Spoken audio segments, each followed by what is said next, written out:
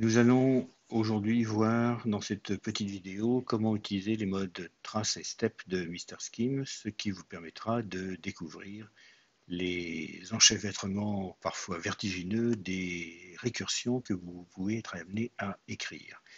Nous allons prendre le bac à ça puisqu'en fait on ne va pas se faire noter pour cet exercice-là.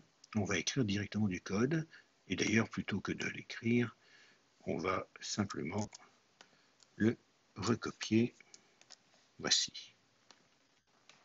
J'évalue donc cette factorielle et je peux ici, comme ça a déjà été démontré, demander quelle est la factorielle de 4, oui, quelle est la factorielle de 10, et puis comme pour montrer effectivement que les capacités de scheme en matière numérique sont de représenter les entiers et non pas des petits entiers, on peut demander quelle est la factorielle de 100, et vous avez ici un nombre qui est absolument euh, gigantesque, puisque en fait, il continue et continue, vous voyez, sur des tonnes, une ligne très très longue. On pourrait demander, euh, ni plus ni moins d'ailleurs, que la factorielle de 1000 aussi, et ça sort, voilà. Bien. Alors, la chose qui est intéressante, c'est si je demande par exemple quelle est la factorielle d'un petit nombre, 6, je peux demander aussi, non pas à l'évaluer pour obtenir le résultat, mais à montrer quel est l'arbre de calcul. Et le voici qui apparaît, et donc la factorielle de 6 nécessite le calcul de la factorielle de 5, qui nécessite le calcul de la factorielle de 4, 1, 1, jusqu'à la factorielle de 1, la factorielle de 1 qui ramène 1, puis vous avez les multiplications qui étaient accumulées, qui se font les unes après les autres, jusqu'à le résultat final, 720. Voici donc, c'était le mode trace. On peut aussi voir ce qu'est le mode step. Le mode step, en fait, est similaire au mode trace, mais vous détaille toutes les opérations qui ont lieu. Et donc, je redemande la, la factorielle de 6, et ce coup-ci, je demande tous les pas de calcul. Et là, vous voyez que, par exemple, ici, on a calculé fact, on a calculé l'alternative, on a calculé le n égale 1, le est-ce que n est supérieur à 1, on a euh, calculer la valeur de n qui est égale à 1, puis on a calculé le 1 qui est égal à 1, puis on a comparé les deux nombres, ça a donné un résultat, etc., etc., etc. Et vous avez toutes les multiplications pendantes qui sont là. Donc, si je remets un, petit peu en arrière, vous apercevez que la trace step est absolument euh, gigantesque, puisqu'effectivement, elle détaille tous les pas de calcul qui ont été faits. Alors, reprenons un, un écran plus propre et regardons en fait ce que donne le cas d'une double récursion, par exemple, comme le, cas de Fibonacci.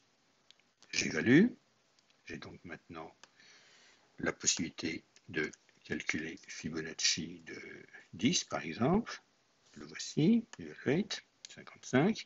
Et je peux effectivement demander quelle est la, la trace de Fibonacci. Je vais prendre un nombre un peu plus petit, 5 par exemple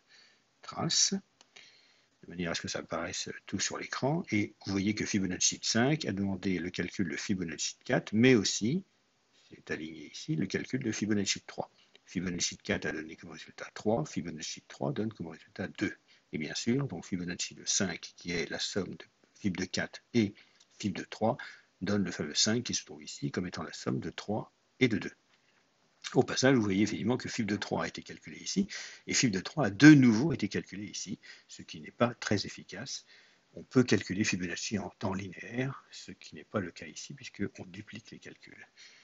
On va, vous voyez donc là l'illustration d'une double récursion, et on va prendre un dernier exemple, la fameuse fonction de McCarthy, que voici, que je vais coller ici. Je vais demander à évaluer. Et là, je vais demander à tracer ce qu'est la fonction f91 de, par exemple, on ne va pas prendre un nombre trop grand, de 88. Je demande à tracer. Et voici ce que ça donne. Donc vous apercevez que la f91 sur 88, je fais plus 11, donc ça fait 99. Plus 11, ça donne 110. 110, ça donne calcul terminal 100. Donc maintenant, comme j'ai en fait pour F91 demandé à faire de F91 de 99, mais que le résultat devait lui-même être soumis à F99, F91, le fameux résultat 100 qui se trouve ici est réappliqué à F91 qui donne 111, qui donne 101. Mais au passage, ça a de nouveau empilé un F91 qui demande à être fait et que voici. Donc vous avez ici effectivement tout le détail des calculs. Et ce que vous apercevez à la fin, c'est que la fonction F91 porte bien son nom, puisqu'en fait, elle répond F91 euh, tout le temps. Si je demande F91 de 91, et là je demande juste une évaluation pour avoir le résultat, c'est bien 91. Et si, pour continuer, je demande F91 de 1 par exemple, et que je demande juste l'évaluation, le résultat est encore une fois 91. Voilà, vous connaissez maintenant les modes trace et step de Mr. Scheme, ce qui vous permet à la fois de pouvoir mettre au point des programmes et surtout aussi d'avoir une idée de la complexité algorithmique de certains algorithmes, c'est-à-dire le nombre de fois que les fonctions récursives s'appellent les unes les autres. Voilà,